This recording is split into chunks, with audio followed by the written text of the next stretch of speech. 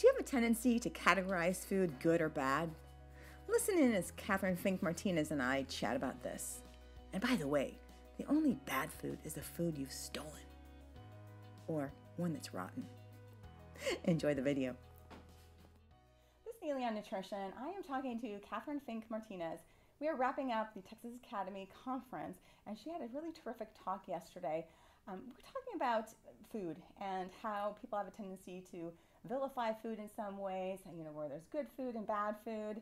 And uh, so we're going to talk about that. So what are, your, what are your thoughts about good food, bad food, and how can we stop people um, stop that cycle? Well, you know, language is really, really important. Mm-hmm. And, you know, the first thing is that there are no good foods, there are no bad foods, period. Mm-hmm. You know, the only reason that a food would be bad would be or you know it's how we go about it like if we committed a crime that would that would make it bad it. right right, right. but you know eating food there's many different reasons why we eat food and taking just one particular food and villainizing it is not right because we have satisfaction all food has nutritional value of somewhat to it it's more of the big picture. So when we take just little snippets, we're missing the whole picture.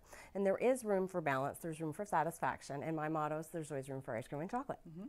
And there truly is always room. It's working into that balance. You know, when we label food and we think, oh, I was bad because I ate that food, or this food is bad. You know, it's just beating ourselves up and right. it's negative, and there's not really any benefit for doing it. It just makes us feel even worse. Like, okay, well, I've already screwed up, so I might as well just go on ahead and finish everything off. And, you know, the Monday morning diet mentality. Right. I'll just mm-hmm. start again tomorrow, mm-hmm. you know, or I'll start again on Monday. So I might as well just blow the rest of the day versus, you know, like, okay, this is one meal, you exactly. know, and you go about eating the rest of your day, you know, and eating intuitively and really listening to the body. Mm-hmm, mm-hmm. So the message then is not to label foods good and bad, that all foods can fit, and if, if you label, if you eat something that you don't think you should be eating, that no big deal.